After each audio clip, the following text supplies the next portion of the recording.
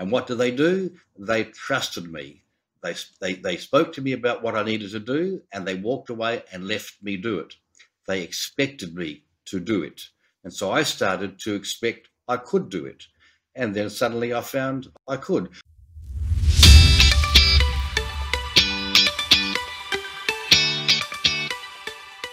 Hello and welcome to the Culture of Things podcast.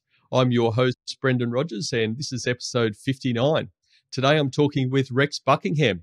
Rex is on in Adelaide. Rex, how are you, mate? Good morning. All well, thank you down here, and hi to all. Great to see you, mate. We are today. Hopefully, we're we're streaming across YouTube. We've got that down pat. Uh, hopefully, we've now the LinkedIn and the Facebook side today as well. But we'll see what happens. We'll see what happens. Rex, I'm going to read a little bit of your bio, and then uh, let's get into our conversation today. So, Rex has a substantial background in general management, marketing, manufacturing, finance, project management, HR personnel, and strategic development at both the corporate, business owner, coaching, and consulting level, and across many industry sectors.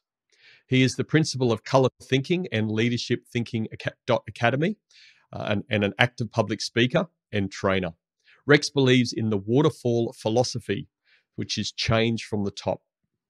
He delivers thinking and communication strategies that release the exponential power of the team, re engineering processes, policies, and thinking to implement sustainable change. Leadership based thinking that empowers rather than controls. Rex says, I'm not the solution, but the active, observable facilitator. The focus of our conversation today is command and control leadership. Rex, welcome to the Culture Things Good morning. podcast. Thank you. I'm looking forward to chatting with you. And mate, you are our first guest from Adelaide. Well, sorry, I should correct that. We did have Adam Crouch, our local MP, on many episodes ago. He was born in Adelaide but doesn't reside in Adelaide anymore. So you're our first guest that actually is living in Adelaide. Congratulations. A big responsibility. it's a massive one, mate. And you love your wine, I hear too, which is uh, Adelaide's a pretty That's good right. place for that. Yeah, come on down and try it out. Mate, you've been in uh, leadership uh, for about 40 plus years, I think it was. And today our topics can command and control leadership. And, you know, we, we had a bit of conversation offline about that, which we can clarify during the conversation. But, mate, I'd love for you, being in an industry like leadership and leadership thinking for 40 plus years, there must have been something that really triggered your interest a long time ago. Um, can you share that with us? What was it that sort of sparked your interest around leadership and going down this path and spending over 40 years in the in the industry? Okay, well, maybe if we start with uh, my personal story. And uh, so, mum and dad put together some dollars and sent me off to a top school here in Adelaide. And uh, I was the most successful boy in the school at being the most unsuccessful. And in fact, I called myself an amoeba. Um, and this is sort of command and control uh, in as much as the first teacher didn't resonate with me or me with her. And so the second teacher didn't, and the third teacher didn't. And so each teacher, year, year by year, would tell, tell the next teacher, yes, Rex, he's, he's an okay sort of guy, but not much happening upstairs. And so um, I've, I've, I've written a book, which I've had here a moment ago, I was going to show you, and it's called, it's called Develop Through Leadership Thinking. And so what happened in that environment was good people would tell other good people about Rex and what they could expect from him. And what I, what I say often in my book, and I, I think about all the time, is that people live up to or down to expectation. And so I lived down to expectation every year, and I was completely successful at this capacity to be in the lowest stream, the lowest point of the lowest stream, year after year. Then I became successful at something else, and that was stuttering. And so when I turned about 13 and a half, 14, I developed this absolutely perfect stutter that didn't allow a second word to escape after the first word without at least four or five or six attempts. And so I became almost incoherent. And uh, that didn't do much for, for me in the family or me and my father, who just saw me as an embarrassment. So my self esteem really got kicked around in those first years. Somewhere in somewhere in my unsteady attitude about me, I found the uh, I don't know what it was, to approach the headmaster and say to him at the end of, of the year when I was still 14, because I turned 15 the next year, I'm not quite sure this is working for me. That would have taken about 10 minutes. Um, and I think it'd be good if I perhaps left school and went and did something else. And he agreed. So I went home and told mum and dad, and they agreed. And so I didn't start uh, what was known as year uh, 10 back in those days. Uh, I went to work. And so that's the control part of that was good people telling other good people what their conclusion was and no one saying, is that the only conclusion? Or what else could we do to find something in this boy? So I applied for a job at a company called Woolworths. You may have heard of them. They sell groceries and things. And uh, there was 32 of us, and I lined up on this terrazzo stairway, one of 32. They only wanted one boy, and they hired me. A boy with no schooling uh, capacity, no sporting capacity, and couldn't speak, and they hired me. And um, I can pretty much say within six weeks, my stutter had gone. And in that first six, six weeks, the manager said to me, Rex, you're going to need to get some schooling. Now, I know your parents have spent tens of thousands of dollars, but that hasn't worked. And so I suggest you go down and do some night school. So I did, went down and did some night school. I missed an entire year. I just missed it the following year without, just missed it a year. And I was fourth to top in the class working each day at Woolworths, studying after hours. I went from being at the bottom and the fourth level to the top of the class, missing an entire range. So maybe Rex wasn't the dud he had been proven to be. Now, my metamorphosis was leadership. And that's the answer to your question. That's why I am so um, devoted to the concept of moving people out of command and control into leadership. And a lot of that stems to see people live up to or down to expectations. And when you expect something of me, then I begin to expect that of me. And so I don't look for anything else. So my personal experience, I mean, I don't know where I'd be today if it hadn't been for the way those people dealt with me back when I was 15. And I'm 73 now. So that was a fair while ago, maybe even more than 40 of those years you spoke of. So that, that might put it in some context. Like, what did they see in you? Did they ever give you feedback about what they saw in this 15 year old lad that was, uh, you know, failing at education, I guess you could say, the traditional education, but they saw something in you. What was that? Failing in life. I hadn't. I didn't. When you have no self esteem, you have no friends. You, you, you, have nothing going for you. Uh, I asked him. I asked uh, John, the manager, uh, about six months after I started, and he said, "Rex, of the boys who applied, there was not a single boy there who needed it more, more than you did." And what did they do? They trusted me. They, they, they spoke to me about what I needed to do, and they walked away and left me do it. They expected me to do it. And so I started to expect I could do it. And then suddenly I found I could. One of the things my father gave me was energy. And one of the things my father gave me was the capacity not to deal with can't and no and but and try and hope, you know, to get out there and do it. And I suddenly had a, an environment where I could do that. I, I, became the I became the youngest manager in the history of Woolworths. In fact, I, I became a manager of a store when I was not yet 18 and they couldn't give me the key because the insurance policy wouldn't allow for me to have the key. So I had to give it to my 56 year old 2IC to let me in. but, but, and so that I think I became pretty obnoxious actually, Brendan. I think I came from being the amoeba to this this all. I think I became very command and control. I think it was Rex's way or the highway, to be quite honest. And uh, I was lucky to have some leaders. I had leaders all through my corporate life who steadied me, who didn't stop me, uh, who didn't control me, just used good language to steady me, to ask me questions for me to reflect upon myself. That was hugely helpful uh, to me. So, um, all of my energy now, well, at 73, I'm still working because I love it, but I'm, I'm focused on youth suicide and I'm focused on domestic violence And I believe a lot of that comes through people leaving work, feeling unappreciated, feeling not included. So they, they, they leave work with a, a mindset of a deficit mindset and they walk back into their environment and all that's left is negativity. And as you know, negativity breeds negativity. So leadership, I believe, has a huge amount to do with uh, mental health uh, and and just calmness within within life. Hmm. You might ask me the difference between command and control and leadership.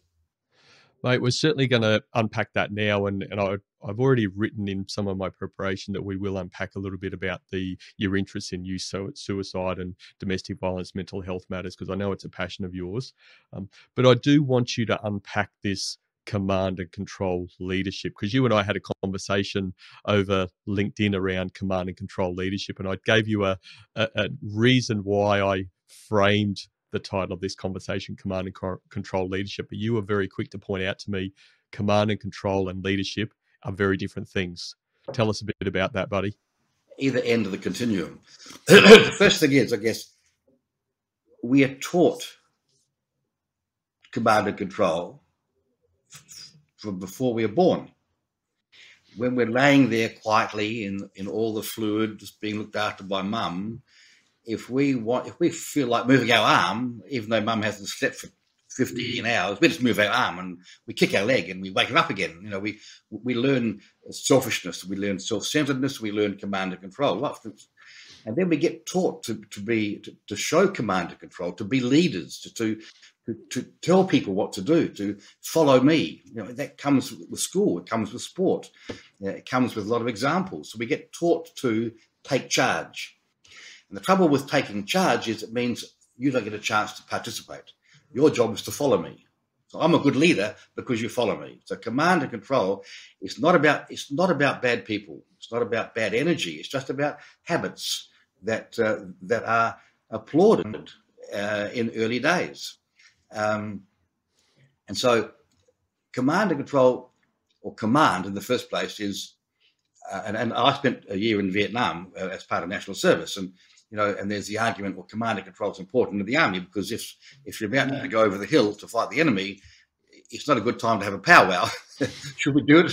Should we come from the left? You know, but follow me is, is, is appropriate. So command and control is appropriate. But what's missing is is ownership.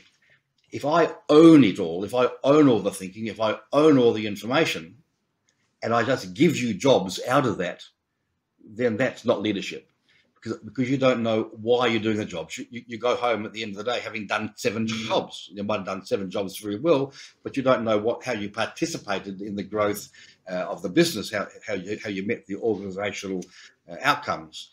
And so command is important in as much as if I was dealing with you, Brendan, and we're looking at doing some, some sort of work together, in the first place, I would share with you some sort of overview. And by, by, by sharing the overview with you, I bring you into the picture. I don't own the overview and tell you my conclusions out of it. I bring you into the overview, not for you to come on board. That's command and control is I give it to you to go and do. Leadership is I give it to you so you can come on board and add your thoughts. I have this thing. It's a, it's a little formula. One plus a number should equal greater than the sum of the number. Now, you've probably heard that. It's been around a long, long time. I didn't invent it. But if I share with you, I sort of know what I know. I never know what I know. I just sort of know what I know. I don't know what I know until I investigate it, until I audit it, until I check it out. But I'm, I share with you, and you get the bit I give you, and you make your conclusion about that. And then if I'm open and you share it back with me, I now know more than I knew before. One plus one equals greater than just me. When you share your information with me, I now know more and I can audit your information. So out of what you say can a whole new idea be bought. I've been, I've been, uh, I spent the first 12 years in corporate management and then I started my own business on the birth of my son 43 years ago. And um, what I found was in that time, particularly, in I, my business was recruitment, coaching, consulting and mentoring was I almost never was given a brief that ended up being what I would do. Almost always, people wanted me to solve effects and didn't didn't have much time to think about what the cause of the effects was. And so I'm, I'm talking about this through command and leadership here. My leadership of a client would be to say thank you. Now, let's have a look at where that's coming from. If I come in and solve that problem for you, it will be a problem again because we haven't addressed the, the cause. And I'd lose jobs sometimes because the, the owner would say, No, no, no, I want you to come and fix this up. Well, okay, I, I might come and fix that up for you, but part of that's going to be fixing up why it's happening. So my leadership was to the client to help them come on board.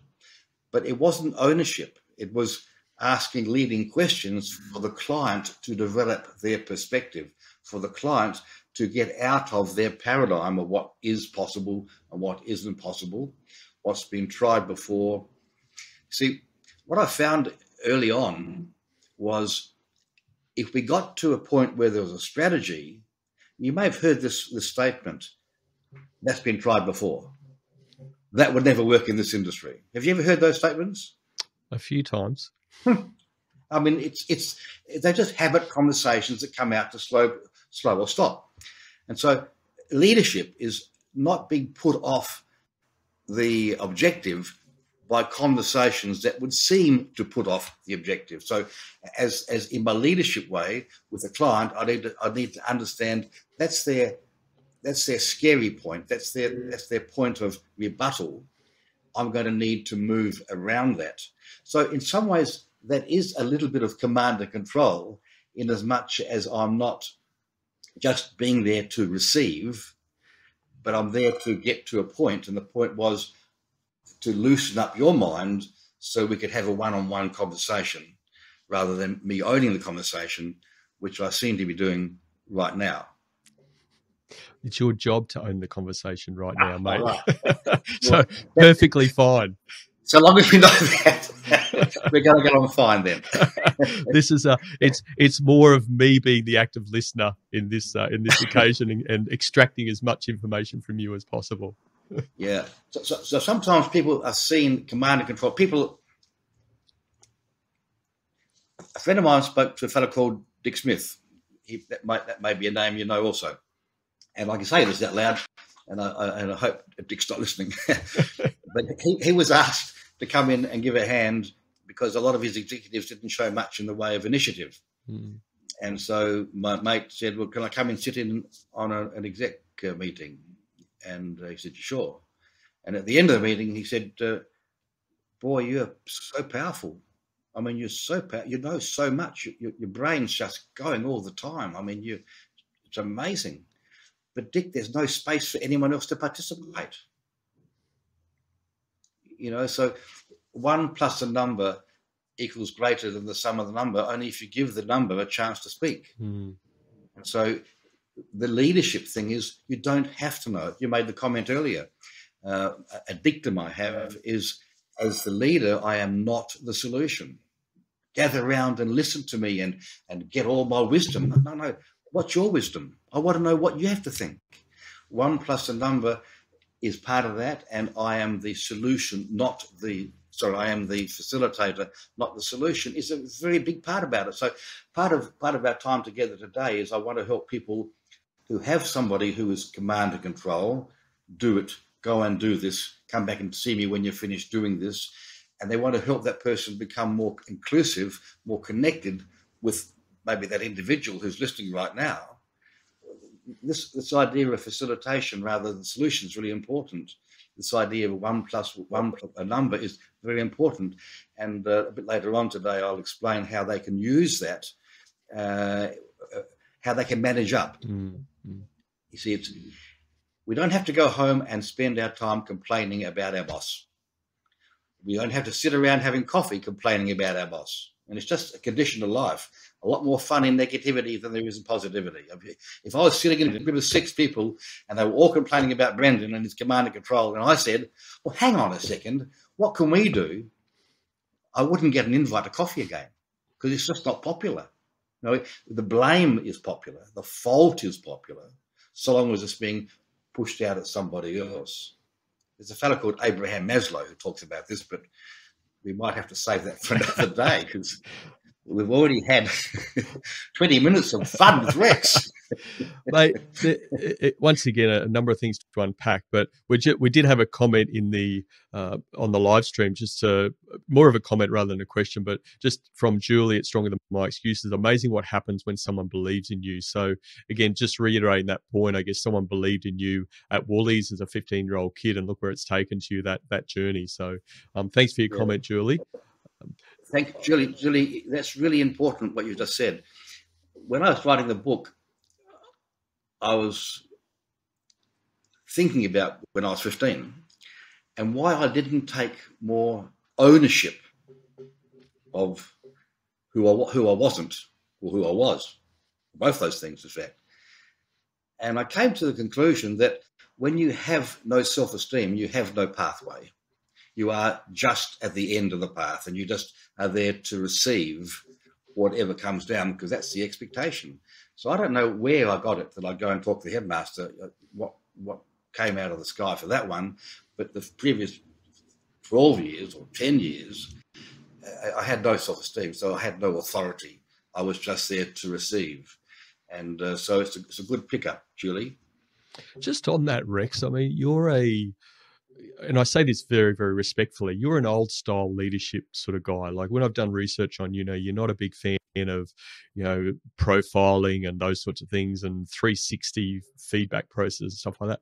Like, what's the, you know, I, I love that style, mind you. Like, what what is that thing that resonates for you through your 40 years? Like, what's what's this powerful thing that's made you sort of not shun these things? I know you're not shunning them completely, but you know, there's an old style to you that I think is maybe missing in leadership today. We are we're focused on the the new bell and whistle and bring this sort of thing in. And you know, is there something in your whole mindset about what the value of this, what I respectfully say, old style leadership?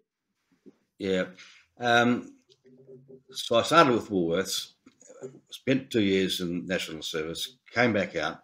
Woolworths had changed from very much a um, we rely on you to think and show initiative and run the business.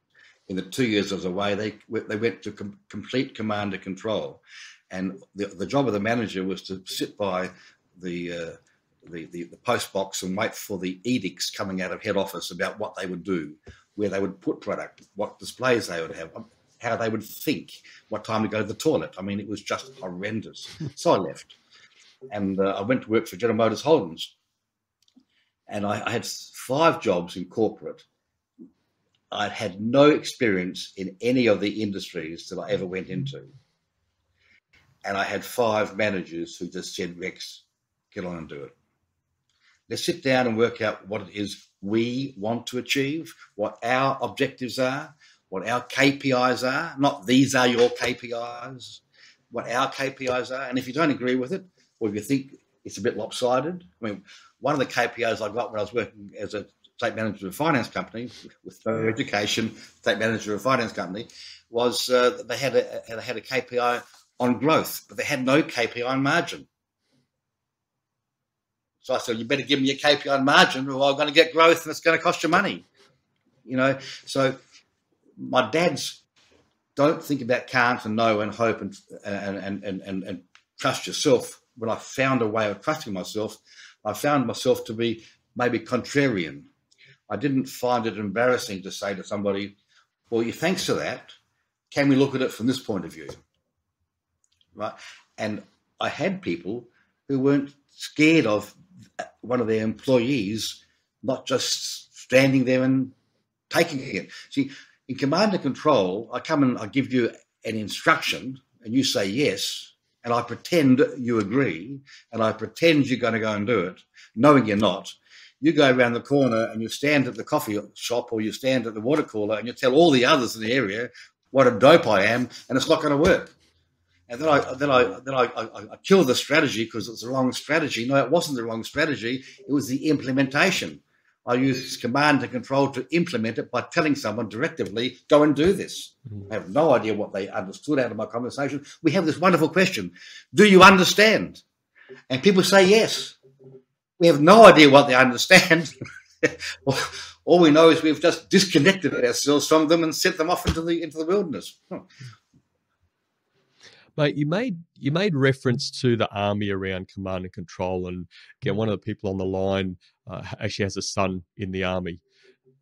I guess using that as an example, but I want to bring that back into the corporate space. Is there a is there a place for this command and control? I know you made some reference earlier, but I guess the thing that comes into mind is, say, crisis management situations where you know where there's time pressures. Would that be a place where there's a command and control type of approach would be more suitable? I've just been working with the managing director of a 500 employee company, manufacturing company, and he kept saying to me, "So, Rex, when can I use command and control?" You know, because he'd come up through the ranks, and he was always. And, and this happened to me when I came at Woolworths. Like I was a little counter boy, and I, I grew up to be the, the manager. And my obnoxiousness was I was wanting to be the person who was in charge, who was the solution, because that's that was what I sort of thought it was all about. Um, so command and control has a place in the example you just gave. Edward de Bono says, with the benefit of hindsight, well, when you're developing a strategy to suit what you were just talking about, you develop the strategy and you do that cooperatively not as not consensus, never consensus, cancer consensus, worst out, outcome. But you do it collaboratively. You listen to each other. You sound each other out. You test each other. You are respectful, but you just don't. You just don't follow. And then you come up with the strategy. Well, now the strategy can be, can be command and control because it's been grown by the value of the people. Like we all own it. Like the the the major could be saying over the hill as much as the private because we've, we've all got the pattern down that we agreed was the pattern. And so we mustn't keep looking for ways to be in charge and own outcomes. We've got to look, be, be uh, uh we have keeping in mind that 80% of the clients I had, I have today, don't ask me to do the job I need to do. The leader, the manager often doesn't know what they actually have to do. They just know they've got to, they think they've got to get to a certain point. I'm working with a client now who hired me to grow their business. And I did that for four years. And I, the other day I sat down and I said, okay, our chore now is to grow it back because you've got to a stage now where you're going to have to increase your business by 25% to make the same amount of money because you're going to have to increase your, your staff and your turnover you made more money when you were slightly smaller and you had time with your family. So let's let's redevelop the business back because bigger isn't always better. You know, let's find the it's called the sweet mm. spot where you get to know you have children and you're not looking for, to increase your overdraft. Mm. Yeah, so there is places of command and control, but we don't we don't. It's not the it's not the first place we go to, and and I know. I mean, because I'm because I, have I have had this wide experience, Brendan. I know some stuff. Whilst I've been consulting, I've started up four businesses from from start to scratch. So, and in my coaching and in my consulting and, and, and in my teaching, I'm testing my thinking all the time. I only hang out with people who argue with me. If, if we ha- if, if, you came over to Adelaide to try our wine, Brendan, and we sat down and you and you agreed with me the whole way through a meal, I probably wouldn't book you to have lunch with the next day. you better disagree with me. so, so command and control. There's a place for uh, command and control helps to get clarity, but the clarity has got to be of the people, of the, of the number of people, because it's the number of people who are going to make the strategy fail or succeed, not just Rex in all his magnificence. It'll be Rex and the group of people who are all being listened to and all being connected to and all being included with. That's how strategies survive. I did this um, webinar for the Association of Strategic Planning, a world webinar, and I did a, a webinar for Project Management Institute of South Australia. And in those two environments, they told me roughly rough figures, 70% of strategies fail. 70% of projects never meet the stated outcome, like 70%. And they were saying, why is it? Well, because people walk around telling people what to do. Mm-hmm. And people walk around not listening. You know, so bring, don't work out. And people people hold meetings, Brendan. People hold, so so just for a moment. I mean, I, I, don't know you very well, but you seem like you're quite a nice guy. But say you wasn't. Say, say your behaviour was obnoxious, you wouldn't get invited to the next meeting. So I would ex- exit you from the meeting because I'll talk to people who talk my language. Well, why bother talking to them? We already have that language. The language I need is the person who's showing obnoxious behavior. And I'm blaming that person because I'm command and control. Well, leadership is hang on, what can I do to connect with Brendan? Because mm. I'm going to need Brendan on my side out there in the field because he's either going to sabotage me or he's going to make it work.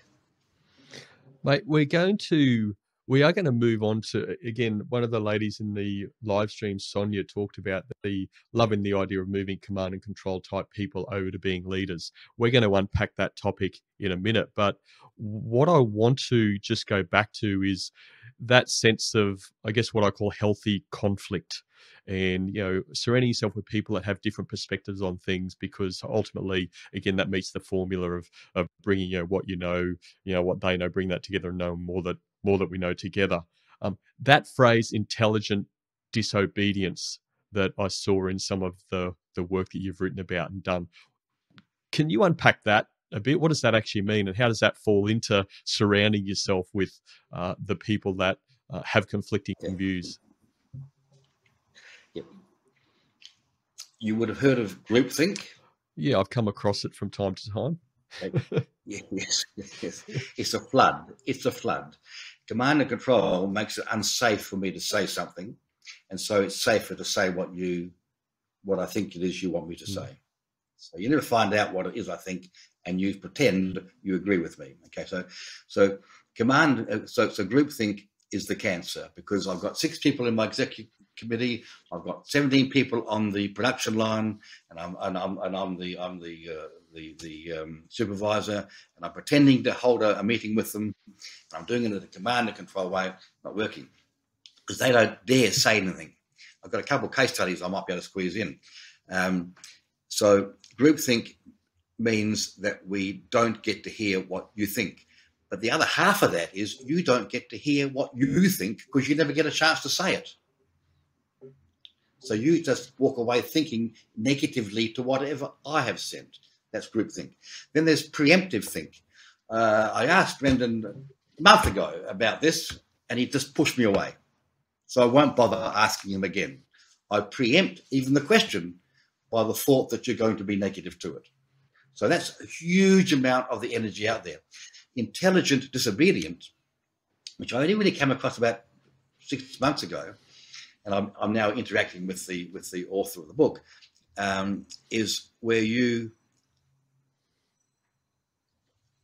by using emotionally intelligent language, connect with a person who is disconnecting from you by their behavior. So you find a way of, of coming back in and getting a moment in the sun where they'll actually receive your information. And you're, you're doing it intelligently. You're not doing it disruptively. You're not doing that because you feel hurt or emotional. It's not an emotional outburst. It's a thoughtful process where I say, okay, Brendan, and this is a bit more of De Bono, a bit more of Maslow. Um, Brendan, I heard what you're saying, and I, I, get it. Could we just have a look at it from another perspective? Right, so I beg your uh, approval to talk to you by showing you the respect of not dismissing. See, the trouble is we use emotional language. Yeah, I heard what you said, Brendan, but th- that'll never work. I heard what you said, Brendan. We, we tried that before you came in here as MD. Uh, we we push people away, wondering why they push us away. So if we want to get a moment in the sun, we've got to learn language. And I, I write about this in the in the book. Change our sentences. You change a sentence, and you change a life. And so if I'm having a problem with you, I can blame you. I can find you at fault. You're a, you're a command and control. You're a bad leader. I don't even like you. And I can go home and tell my wife and my family I'm out the golf course, I've got this horrible person I work for. Or I can change my sentence and I can take responsibility. So when when um, Sonia's talking about uh, uh, moving command and control people to leadership, it's about me moving them, not them moving. My responsibility. And, and I can do that even when I feel downtrodden, even when I've tried four or five times to do it and it hasn't worked. I can do it if I look at the way I start the conversation. And if I start the, have you ever heard the statement, I have tried everything? Have you ever heard that statement? Yep. Yeah. Well, I bet they haven't. I bet they've tried the same thing 15 times.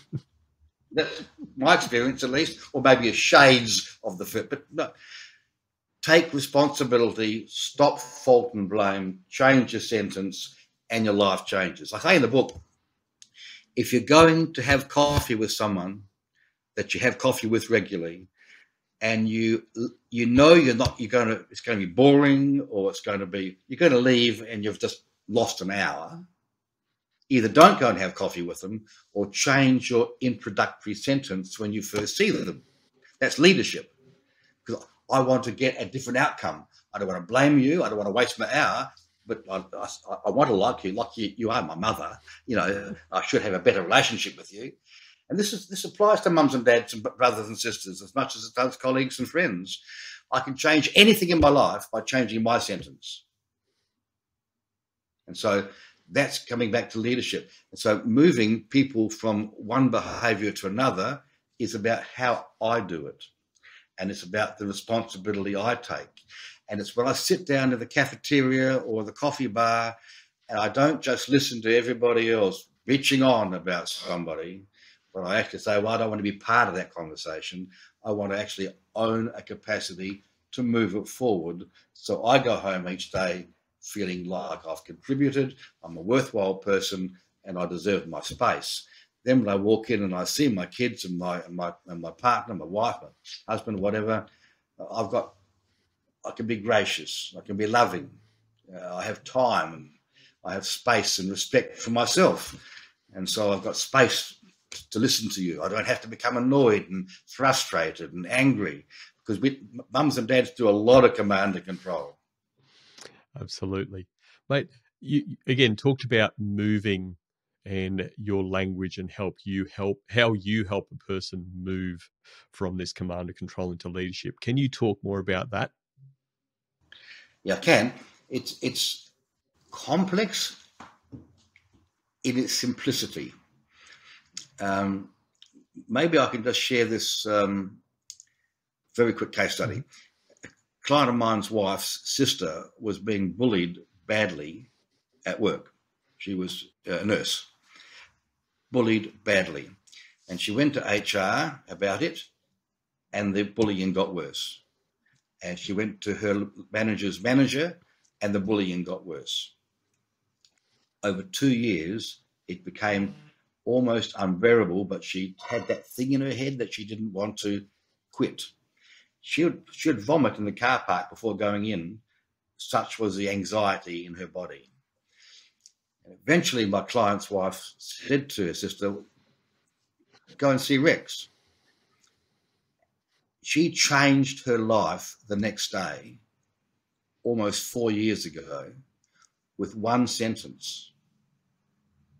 And the other four people in that pod who, who responded to that particular nurse still had every day serious command and control, depreciating behavior.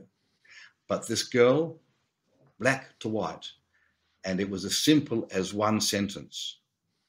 One sentence. But when she took responsibility for changing it and she moved out of the mindset of it's hopeless, this is just how this person is, boy, how many times have I heard this? That some poor little child being manufactured, fourth month of in, in the womb, is coming out an angry person or a bully or a, a bad person. I don't believe it.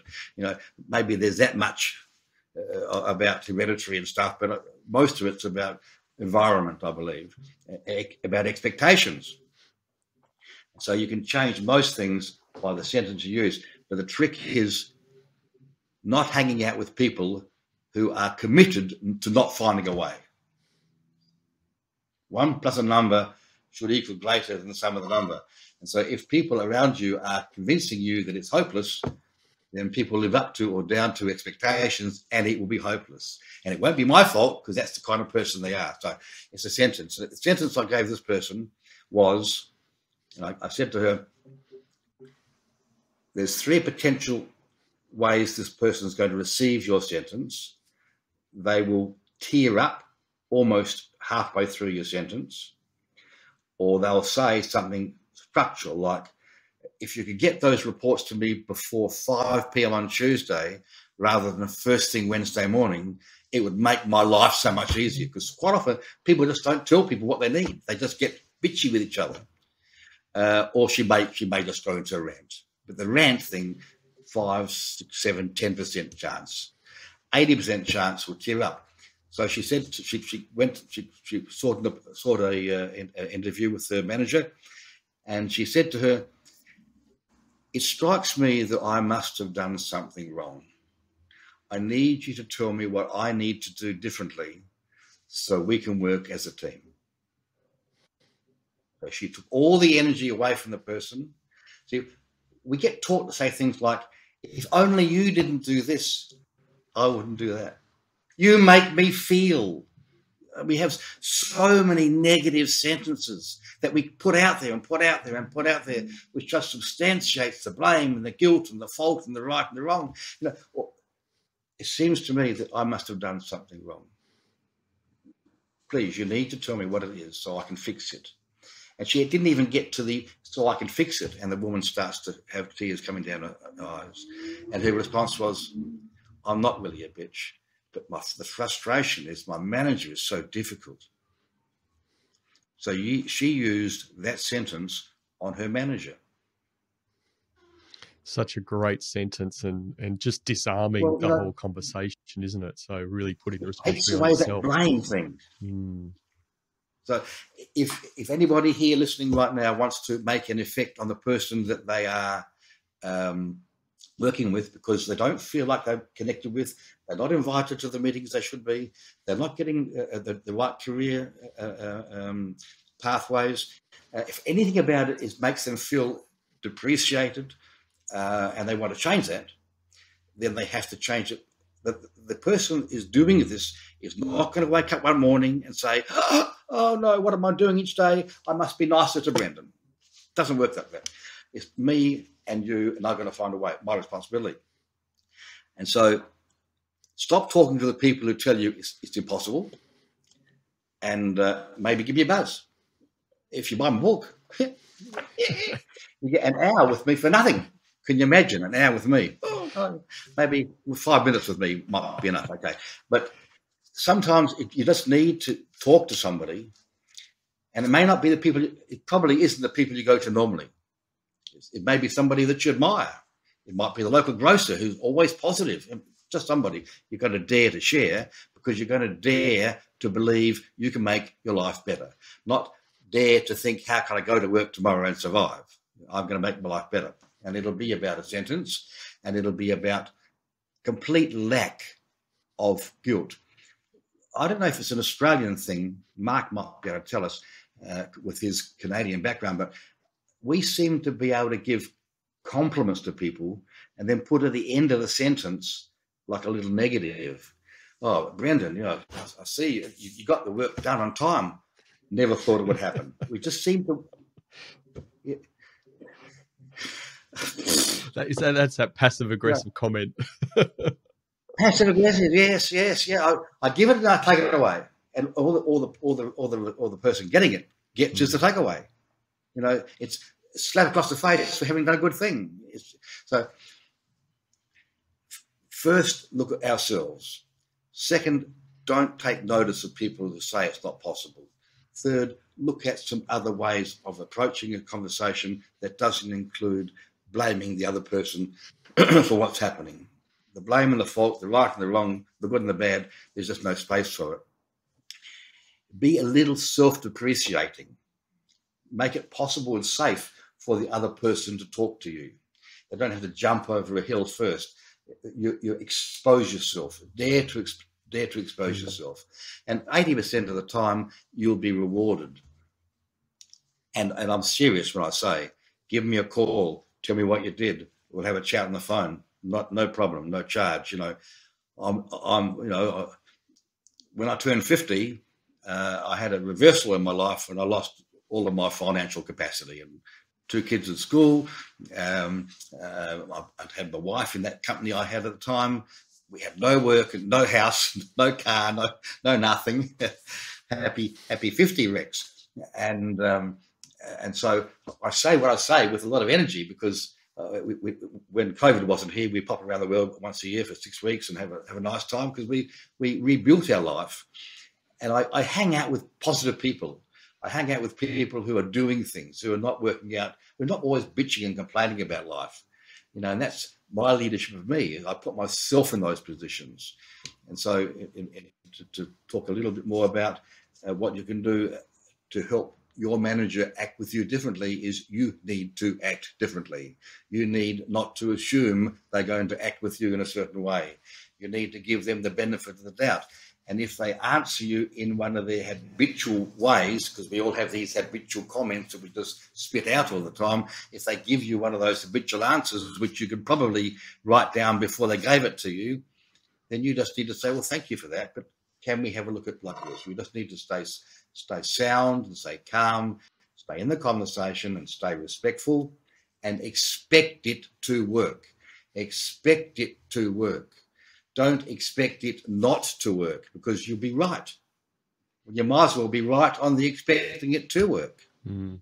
That word vulnerability, you didn't mention it, but it's coming through loud and clear, mate. Being making yourself vulnerable in these situations makes a big difference. What? what yeah, and it, it, does take it does absolutely. take courage. If I'm a leader who has lived and learnt to live in this command and control space, but let's say I've seen the light through whatever reason. What risk do I have? Are there any risks associated with me making a change and trying to make a change to move myself from command and control to you know this more leadership style that we refer to? Yeah. So leadership style is about connecting. Connecting. Connecting is about asking. And asking is about listening. And listening is about asking. And asking is about listening. And listening is about asking. A L A L A. That's how we that's how we connect with people. Not ask, listen, tell. Because there is a real desire to, yeah, thanks for that, but you know, okay. so the potential perceived deficit in exposing yourself to look like you are asking people is that some people will say, Don't you know? Or you will think they will think you don't know. And all they'll be thinking is, What happened to him? What happened to her? What's she doing asking me? And they won't trust you at first. If you've been very heavy command and control, they won't trust you at first. Their their habit of response to what do you think will be, it's not my job. I don't know. Mm. Because that's their habit response to your habit conversation. So the habit I'll be as unuseful to you as you let me be. So if I dare to ask you, as you I think you were heading at, if I dare to be looking at changing my style and I'm daring to connect with you and I push you away, well, self-fulfilling. I'll go back to how I used to be and you'll say that I I have disconnected from you, but you have disconnected from me, and you can have all the you can have all the reasons in the world to support why you shouldn't shouldn't trust me. Well, you can you can fifteen pages of reasons why you shouldn't trust me, but if that's if your objective is to be trusted, well then you wasted your time with the fifteen pages. Just work out, expect to be acknowledged, expect to be connected. So my I've seen it happen in um, in executive because I used to own a recruitment company. I've seen managing directors say about their executive committee, I don't talk to them, they're too consultative. They never know what to do. They've always got to ask somebody else. And I say to the managing director, but how many of your strategies fail? Oh, it's very difficult. Why don't you shut up? Why don't you just shut up and ask people? And when they when they dare have you ever been to the the Brisbane The show or the? Sydney Certainly have. I grew show? up in Brisbane. in the shot in the sideshow area, there's a um, uh, a, uh, a sideshow which involves ducks and rifles. I love it. Can you picture that one? You love it. Okay. So what happens? The They're duck not comes live up, ducks. and your Let- job let is just say to. they're not live. ducks. Oh no, yes, yes. No, Absolutely. no metal duck was hurt in the demonstration. yes. yes. Oh, what? 15, 15 comments came in. Leave those ducks alone. well, that's the answer. Leave the ducks alone. So what happens is, in the sideshow, up comes the duck and we shoot it down. If we're not careful in command and control behaviour, I pretend to ask you a question because I don't really respect you because you never show any initiative because I never let you show the initiative. So you you squeak out a bit of an answer and I shoot you down. I pick up my rifles and that wouldn't work, Brendan. Not in the budget. Haven't got the staff. Check out the comp. I've, I've got 15 different Howard answers to prove that your idea is wrong. I shoot you down. And then I say, nobody dares to talk to me. I don't get any initiative. I don't. No one participates. Well, you know, you- I've got a hole in my head here. My left eye's been shot out. my- I've got a shut up my nostril. I mean, you know, A damaged And duck, it's- Rex. it's not Very damaged people. duck. very damaged duck. Well, that's why they move them on. You see, they. but that, that's the thing. The thing is that um, it's it's difficult to move out of the safety of being the boss at, at any level. And, and, and inter- interesting enough, command and control can happen from the floor up.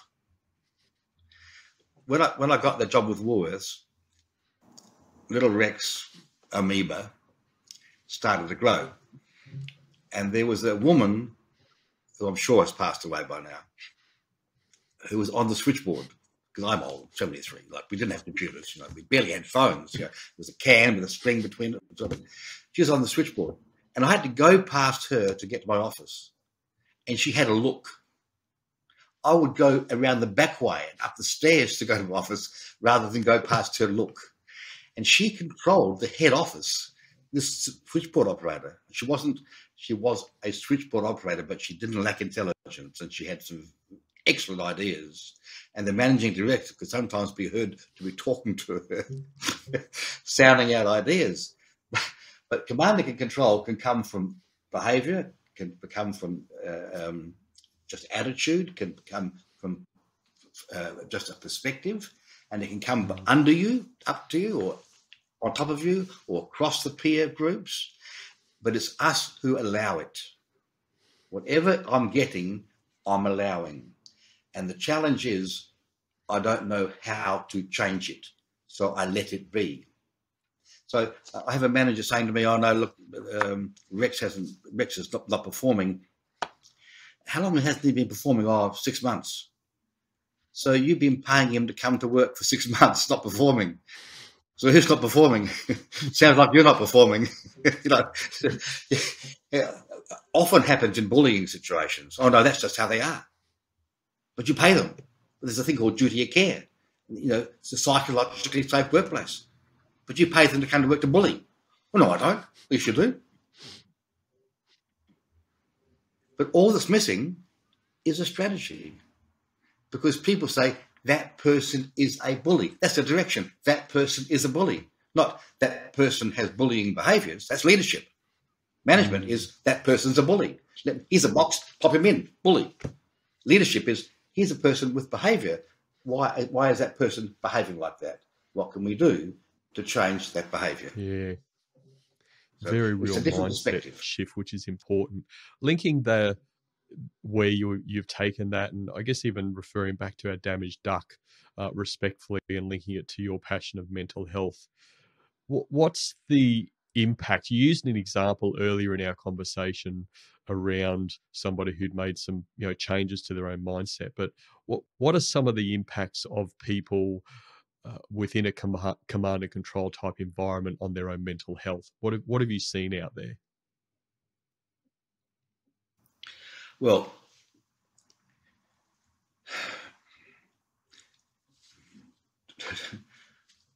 I can be contentious.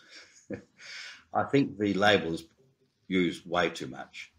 Um, I think the, the, autistic label is used way too much. It, it, it's full of fault and blame. It's full of things outside our control that we're managing. And, and, and my um, experience is that they're outcomes of behaviours of other people. Very much outcomes of people live up to or down to expectations. So if I think you're going to be difficult, if I think you're going to be rude in a supermarket, you probably will be rude in a supermarket. And it sure as hell wasn't my problem. You must be autistic. So I think a lot of it is we're a bit eggshell prone. Don't don't say that to them. Be careful. Uh, there's laws against that, that can be bullying. Whole lot of eggshell stuff, which is totally unhelpful. Daniel Goleman writes about emotional intelligence. Emotional intelligence is a really good concept. And it's about clarity. It's about respect, honesty, and clarity. It's about care, but it's not about shielding yourself from potential um, impacts by someone taking um, not liking what you said. It's about having difficult conversations carefully, but having them. That's leadership. Yeah, not managing the person out because you couldn't fix them because you never told them what was wrong. I've, I've, I've, I've spoken to people after I've been through performance management discussions and they have no idea what happened. And I can guarantee you the thing that didn't happen was the person doing the performance management then never told them what it was they had a problem with. But now, by some sort of magical situation, that person's going to go away and be better. Well, they don't even know what it was they weren't being good at. You know, so the fear of some people moving away from command and control is I'm finding it hard enough to run the business right now. I'm hard enough to get these salesmen to do what they're supposed to do now. How would it be if I looked if I looked vulnerable by talking to them, by asking them what they think? You know, it's the fear of losing what I've got for the thing I don't know I'm going to get. Mm. Rex, random question: How do you get on with HR people? in my book.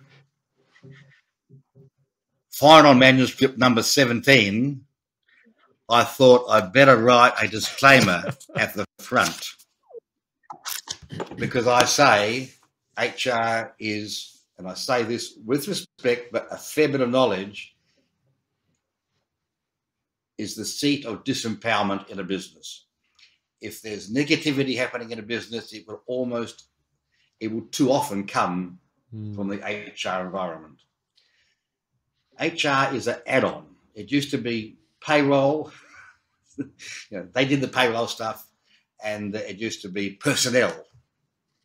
And they put it all together and made it a 57-year uh, double degree uh, professorship. You know, and somewhere along the line they forgot about people, and um, so my experience with HR is very, very poor.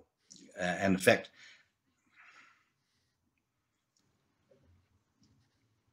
a very dear friend of mine's son suicided recently.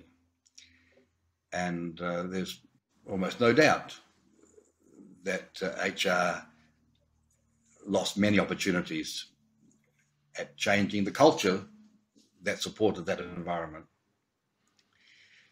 And so HR often put in unenviable positions, often not included in the executive group, often used to, often resourced for, for doing negative things and, and, not, not being given a chance to be heard. But I don't know what it is about the HR courses, and I taught advanced diploma in HR. Uh, not, I didn't teach the course, but I taught the subject, and um, people just, I don't know, it's at the heart of many things that are wrong mm. in business. And I say about professionals, second, second, second time I did a final review of my book, added in another disclaimer. I say if you think you need to go to see a professional, you probably don't even know the question to ask them. And they're probably going to give you the answer they give to most people who look like the, person that you looked like when you walked in. And you're going to go away and do what they say because they're professionals. Well, mum and dad are going to want to talk to you. Your best friend's going to want to talk to you. If you want to go and see a professional, go and see them. And what if you listen carefully, you're going to be hearing different conversations. Don't push the different conversations away. Listen to the conversations. Write down the comments they make because there's more questions in there. You need to get more questions happening in your mind before you can even get close to a solution because you're probably going to find a solution to the question that wasn't the right question. So if you go and see an accountant or, or, or a solicitor or an engineer or an architect or a professional, ask your question. And when they give you the answer, say thank you.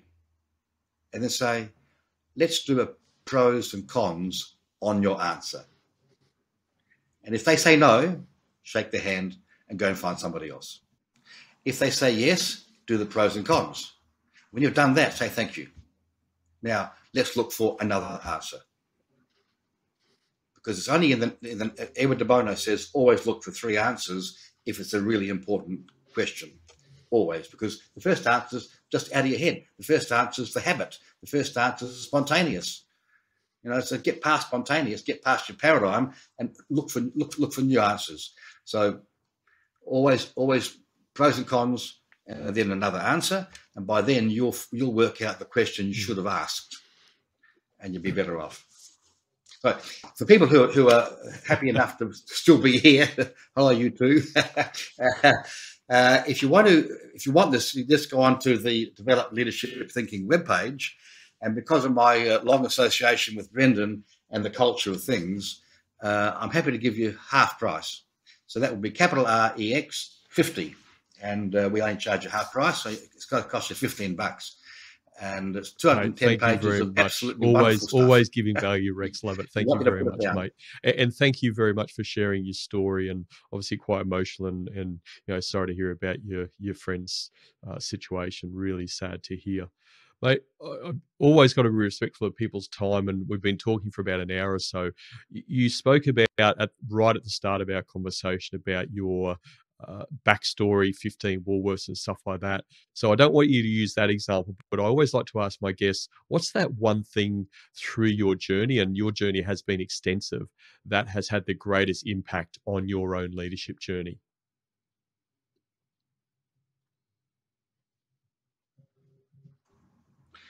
Well, uh, it has to be the first five corporate companies.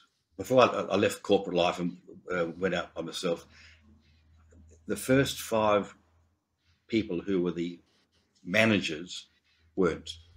They were absolutely wonderful leaders. And so I, I, mentioned that none of the things I did in my first corporate position had I ever done before. So I didn't go up a ladder. I, I, I went across scaffolding, and uh, so I went. I was, I was, I was received into senior positions with no background. In my recruitment company, I would give a client people they asked for. I'd give a three month guarantee, and I'd give them people that I believe were right for them, and I'll give them a year guarantee. And the people who I thought were right for them hardly ever had much in the way of background in the industry that I was putting them into. Because group think and preemptive think and command and control is so strong that new people get depreciated almost immediately by having to fit in to the culture. So I think from this little amoeba thing to where whatever I was at the end of my fifth corporate um, assignment was just sucking in the energy and, and the behavior, not the words, the behavior of these five absolutely amazing managing directors that I that I, I had. Mm. Um, very very lucky that you had who I am today. Uh, such good leaders to uh, to look up to and learn from at an early start. So fantastic, mate. Yeah, mate. Oh, thank yeah. you very much for what you shared today. We've had, I think, uh, around five people uh, that have been had taken some time to be on the live stream. So thank you very much. Your comments have certainly resonated with those people uh, on the on the live stream and, and what they've said in the chat. So they really appreciate. Mate, I want to thank you for your time today. Um, as I said earlier, like res- with the utmost respect, I love that. Um, unfortunately, what I would call old style leadership, but I think more of that old style needs to be in the current and the new style of leadership, less about the shiny bells and stuff like that, more about I guess the biggest thing I took from you, which is a massive belief in that I have, is the ability to have those genuine conversations makes all the difference. So, mate, thank you once again. Thanks for your offer with the with the book. We'll put all of these details into the show notes. How to contact Rex. Um, fantastic guy, man of unbelievable well, uh, experience, wealth of knowledge, mate. Thanks for sharing today, and thanks for being such a great guest on the Culture of Things podcast. I've got this little double-sided cheat sheet, uh, which has a lot of the actual tools you can use in the thinking I've been talking about, and that might even be another time we might might might, might get to chat. But uh, that comes with the book as well, and so that's the thing you can put into your on your desk and help you get away from the habit behaviours that we all have. Thank you, Brendan, for making it possible for me to speak. Fantastic, mate. Thank you once again. Pleasure having you. Bye, Bye all.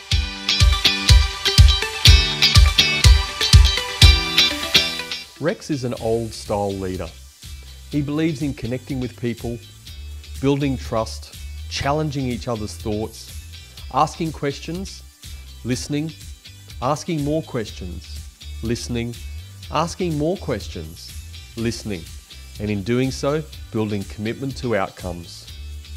New style leadership seems to be more about implementing the newest tool or following some newly marketed business model that takes hours to understand before you can even think about how to implement it in your business.